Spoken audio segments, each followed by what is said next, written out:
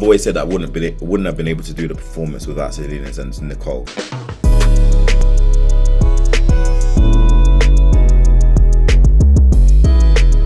Hi, John. How you doing? You okay? I'm doing fine, and you? Yeah, good. Thank you. Thank you so much for your time. A pleasure to talk to you, and a pleasure to talk about this performance that I thought was so powerful and so great. so, start. Let's start from the beginning. When you first read the script, like what was like got your attention? I know Brian's story is very powerful, but yes. what got really got your attention? I mean, that's the that's one of the main things is a powerful story, but the way the script was put together. Um, obviously, this IP was based on an article um, that that Abi and the team secured, and I feel like the way Abi and Kwame Kwei-Armah broke down this character, the fact that it wasn't gonna just you know be um, have thriller aspects, the fact that it was actually a a character a character arc, a real character arc in which you get to see the whys behind every action that you see in each take.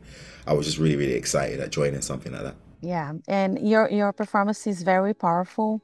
And how did you balance like the emotional side of it? And at the same time, you try to. He's so kind. He's a kind person. How did you balance that? Um, myself and Abi had a process in which we actually strategized and pinpointed each scene in which it would either be small, subtle Brian or more extroverted Brian. And then we would go through the story and pinpoint what moments were more suitable to him, his timidness, and then what moments were more suitable to him just being, you know, out there kind of breaking down. Um, so, you know, maybe in the future with deleted scenes, you might see a few versions of the louder scenes that are much more quiet and peaceful, just so that we could have options. Yeah, how's it for you like work with Michael Kenneth Williams? I think this is one of his last uh, uh, works and how he, he's dynamic. Oh, exactly. It's fantastic um, to work with him and so inspirational. For me personally, it feels like a full circle moment just because of how much I've watched him, you know, coming up. Yeah.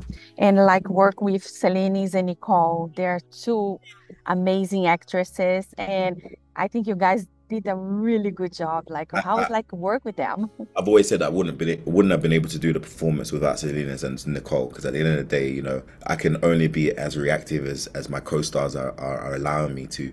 Um, and I felt like in moments, especially um, acting with Selenis and Nicole, they really affected my imagination in terms of what where I was able to go because they were down for the energy I was bringing onto the set. You know, I never introduced myself to them once.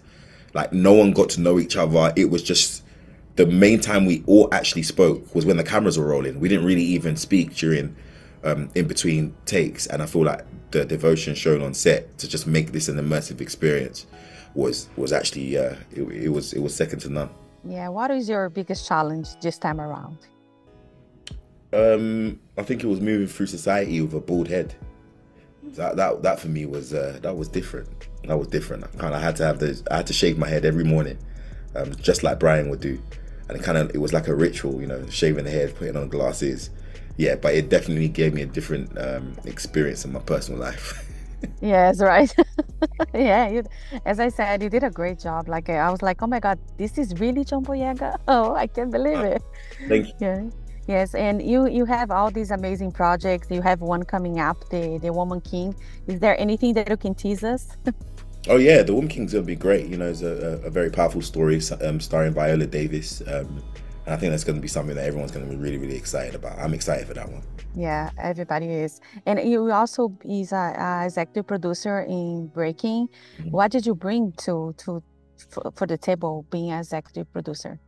Well, getting the project greenlit. Um, I think the project was just in a in a bit of a limbo um, after some scheduling issues. Um, so we had to sort that out first, and then on top of that was you know securing additional funding, which is something that could be quite complicated. But you know you flaunt a few names and get the team together and we're able to we're able to do that. But it's just collaborating mostly creatively with Abi, with the rest of the team, and making sure that the story, Brian's story that needs to be told, is told in the most entertaining but at the same time accurate way as well. Yeah, that's amazing. John, this is the time that I have with you. I just want to thank you so much. A lot of success and you're so talented always. thank you. Thank you. Much appreciated. Bye bye. Is everyone all right in there? I have a bomb and I'm gonna kill myself and everybody in here. My demands and I'm met. I'm sorry. The VA stole my disability check. They left me homeless. I won't be able to feed my family. I need everybody to see what's happening here. You have my undivided attention. Get the blinds. Get the lights! I don't want the bank's money. Everything do matters. Just make good, Brian. Just make good. If you like this video, don't forget to comment, to like and subscribe to our channel right here.